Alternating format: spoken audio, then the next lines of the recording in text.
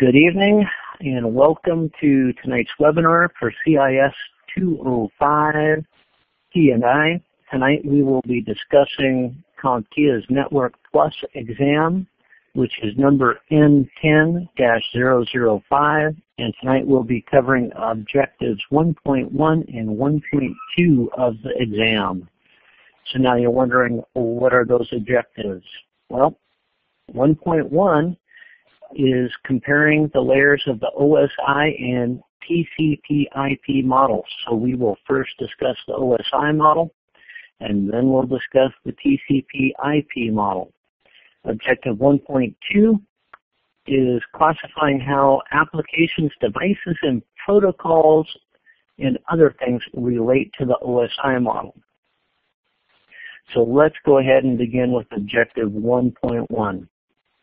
So the first thing I'll say is that in the early days of networking, uh, there was no model, no OSI model. If you had an IBM machine, you could only network with another IBM machine. If you had a, a DEC, guess what? You are stuck only being able to talk to a DEC because nobody was concerned about compatibility. Well, then along came the ISO, and they like to make things standard, so they developed the OSI model. The OSI model is broken up into seven different layers, layers one through seven. Usually when you see it written out and represented, it goes top to bottom, layer seven down to layer one. And the reason for that is the way they work. Uh, layer seven is actually what does all the initiating and passes it down to six, down to five, down to four, down to three, down to two, down to one, out the wire and over to the other side. So layer seven is application. That's basically who's asking to communicate.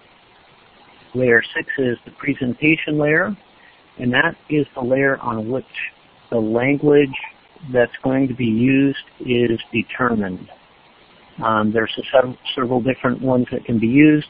The presentation layer is the one who determines which one it's going to be. That's also where most encryption, encryption begins. Doesn't have to be at the presentation layer, but that's where it begins, usually. Uh, layer 5 is the session layer, and it is responsible for setting up the communication channel and for tearing it down. Layer 4 is the transport layer. You're going to have to learn a lot about layer 4. That is where TCP resides. And you have two basic styles of connection. You have um, reliable connection and you have unreliable connection. It just is determined by what you're doing, by which one you get. Layer 3 is the network layer and the network layer is logical addressing. And that's basically where are you. Layer 2 is the data link. Uh, that's actually made up of two sub-layers. Uh, one is the MAC and one is the LLC.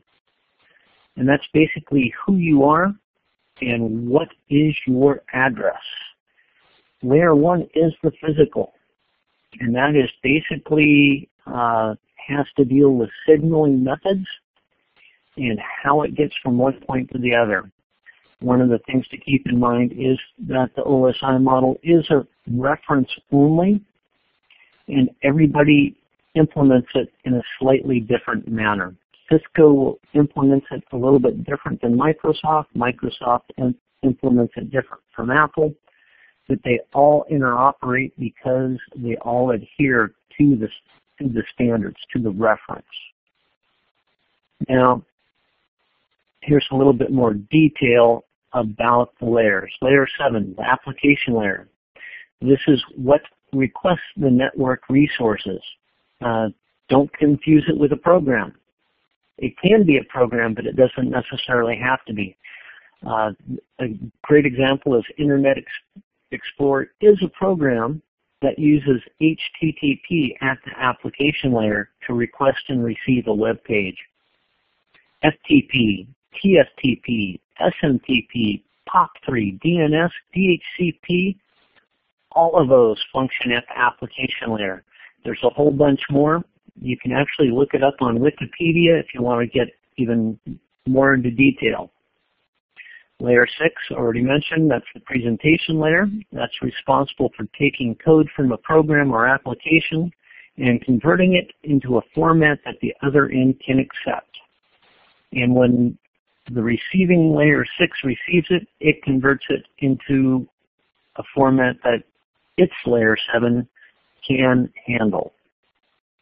Uh, one of the great examples is taking an EBC DIC file from the layer 7 and breaking it down into an ASCII for transmission and then reversing it at the other end, making it an ASCII response into an EBCDIC file for the layer 7. Even if both layer 7 applications speak the same language, the presentation layer is still involved. I already told you that layer 5 is responsible for setting up and tearing down the communications channels. Um, it, it basically says when and where the communication is going to take place. So layer 7, which is responsible for delivery of network communications. Like I said, it can be reliable, which is TCP, with error detection and packet ordering, or it can be unreliable, which is UDP, which uses best effort delivery only. So now you're kind of wondering why you might want to use UDP? Well, because it has lower overhead. It's a little bit faster. It's mostly used in applications where um, it's more important to have the speed than to worry about a lost packet. A good one is voice over IP. Uh, if you had to wait for the error correction and everything else that TCP involves, communication would be really choppy. So UDP is used in most voice over IP applications. So then we go down to the network layer. Network is the logical addressing, and it is responsible for uh, communication between networks and networks only. It really does not care who the final destination is, only what network they reside on. You can kind of think of it as the city, state, and zip code portion of a physical address, which you have in the mail. The data link layer, that's, that's the layer that is responsible for knowing the final destination. You can kind of think of it as the house number portion of a street address. It is broken up into the two layers, the LLC, which is link layer control, and the MAC. A uh, couple of examples of layer 2 protocols are Ethernet, which everybody should be familiar with, and point-to-point -point protocol, which you will get into later in this course, at least you should. And then we break it down into the physical layer. That's the one that's responsible for, for taking the frames from layer 2 and breaking it into bits. And that's the signal that goes down the wire. There's also hardware that works at the layer one, and the best one example of that is a hub. A hub is a layer one device. A switch, uh, in contrast, is a layer two device, and I will talk about that a little bit more later. So now we move to the TCP IP model. Um, so again, a history lesson. Everybody uses TCP IP nowadays. It used to be there were a whole bunch of different networking standards that you could use that could you could create networks out of. Nobody uses them really anymore, uh, except in very very legacy type operations. Everybody uses TCP IP. So that means that it had to have its own model uh, so that everything can communicate. TCP IP is a little bit uh, more a little bit easier to get your mind around. It's only broken into four layers, the application layer, the transport layer, the internet layer, and the network interface layer, which is also sometimes called the link layer. As with the OSI model, the TCP/IP model is reference only. Uh, different vendors, again, break it out into different ways. So now let's kind of compare the two.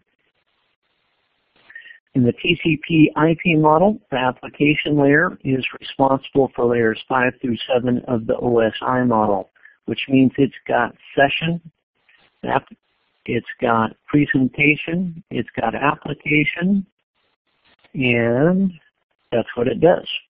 It takes those top three layers of the OSI model and rolls it into one layer.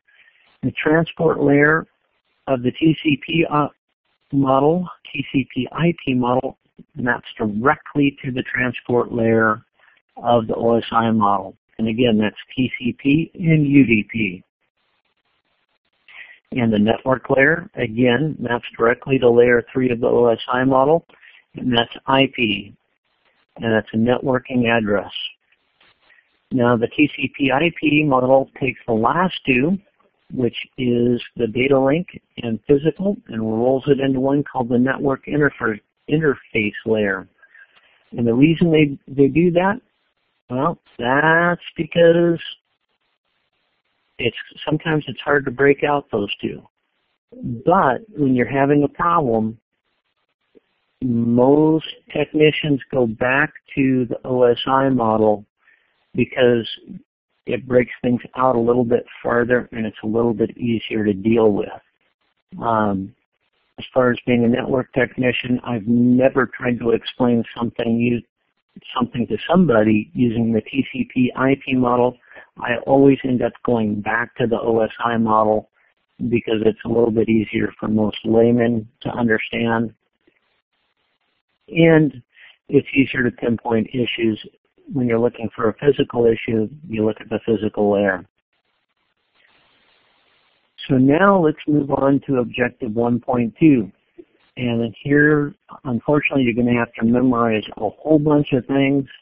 Sorry, that's just the way of it. The first thing that you need to know, MAC addresses. MAC stands for Media Access Control, and if somebody's talking a MAC address, that maps to layer 2 of the OSI model. It is a permanent 48-bit hexadecimal number. It's usually burned right into your network interface card or to uh, your router or whatever else has a MAC address. Everything does have a MAC address, by the way. The first 24 bits of the 48 are your OUI, your organizational unique identifier. The second 24 bit are usually assigned by the manufacturer, and a lot of the times they just use the serial number and make it a 24-bit number and stick their OUI on the front, and there, voila, you have your MAC. And it does represent the physical address of the node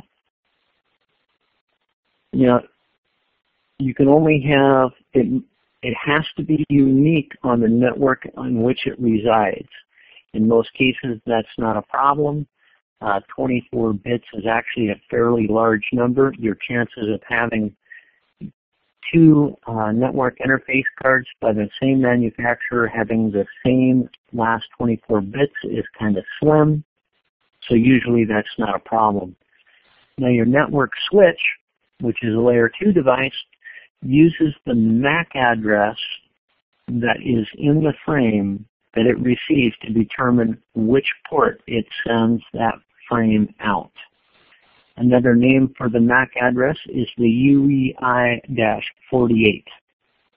Now guess what? Uh, the IEEE decided that 48 bits wasn't quite enough, so now you need to know that there is an EUI 64 that is coming out. It is the replacement for the standard 48-bit MAC address.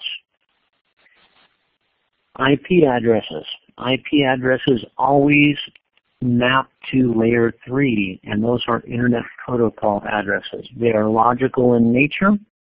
uh, just about anything you can you can assign an IP address as long as you follow the proper addressing schemes. I'll get to that here in just a moment. But you get to the, you get to uh, assign it, or your equipment does. IPv4, which is what everybody's most common, are most knowledgeable about, is a 32-bit address, and it is dotted decimal. Uh, those are ones like 192.168.1.0. That is an IPv4 address, and it's 32 bits long. And you will have to learn some binary in this course. Sorry, um, but you're going to need to know it, especially if you move on beyond the Network Plus exam. IPv6, well, that's a bit bigger. It's 128-bit, and it is um, denoted by hexadecimal, and it uses semi, or not semicolons, it uses colons. It is huge. Um, for IPv4, there are essentially a little over 4 billion individual IP addresses available. Uh, IPv6, it is quintillion. Uh, there's enough address space in IPv6 that everybody and everything could have its own IPv6 address. The transition is occurring, but it's being very slow.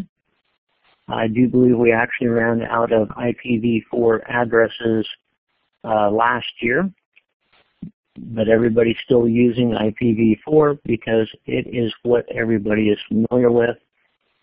A couple years down the road, everybody will be familiar with IPv6. So cables, when you're talking cables, those are layer one. Hubs, hubs are a layer one device.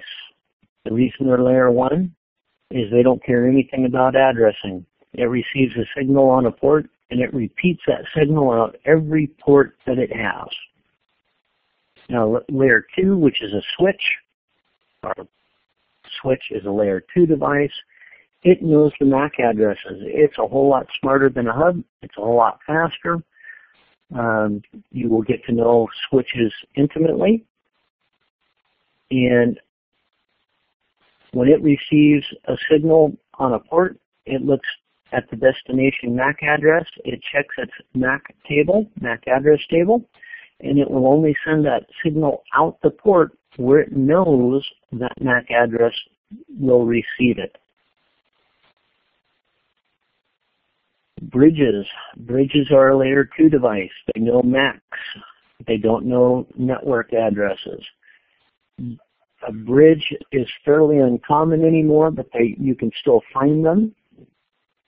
One of the interesting things about a bridge is it can change network media types. It can connect to a coax network and change that signal to a Cat5 signal and send it on to another segment. Um, it can also filter traffic by segments. A multi-layer switch is kind of a hybrid. It resides on both layers 2 and 3. Uh, most of its functions occur on layer 2, but it does know network addresses, so it does have some layer 3 routing capabilities. Routers are the main device that live on layer 3. They're only concerned about IP addresses. Uh, they don't care about MAC addresses.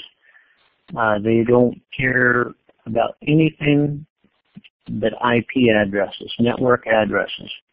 Just like a bridge, they can and often do change the network media topology. The most common one is taking an, taking input from uh, Ethernet and sending it out on a serial line over the telephone wires. Encryption devices. Okay, this one's kind of tricky. Uh, the layer they reside, reside on depends upon the protocol that's in use. Uh, SSL and TLS, which everybody should be familiar with, uh, especially when you're on the internet, that resides at the presentation layer, layer 6. Uh, when you see the little lock on your web page that signals you're on a secure site, that's either using SSL or TLS. By the way, TLS is Transport Layer uh, Security. But if you are doing a um,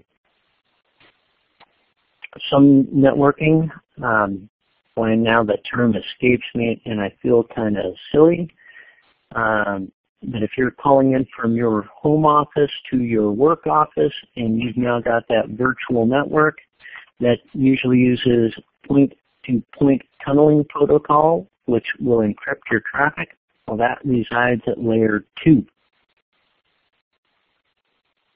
Now let's talk about uh, common networking terms that you're going to hear. When somebody says that the transport layer handled a segment, uh, that means that it received a data stream from the upper layers and it broke it out into a segment. It put a header and a trailer on it, but it's a segment at layer 4. Layer 4 then sends it down to layer 3. Layer 3 receives the segment and it breaks it into packets and adds IP addressing. Also adds a header and a trailer. And then passes it down to layer 2. Layer 2 receives the packet, breaks it into a frame, adds the MAC address of the source, and sends it on its way. It also adds a header and a trailer and it hands it down to the layer one. Layer one breaks breaks that frame into bits, zeros and ones, and sends it over the wire. It's important that you know the order that they go in. Um, the way that I did it is I just remembered segment packets frames, and I went S was higher in the alphabet, it's higher in the layer. And B is the lowest layer, and it's the first one in the alphabet and then you just kind of work that way. Um, you are going to need to know that. Uh, and actually, that concludes uh, objectives 1.1 and 1.2.